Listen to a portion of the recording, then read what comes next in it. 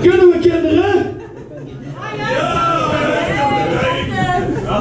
Iedereen heeft ooit SpongeBob gezien, je kunt dat allemaal meedoen.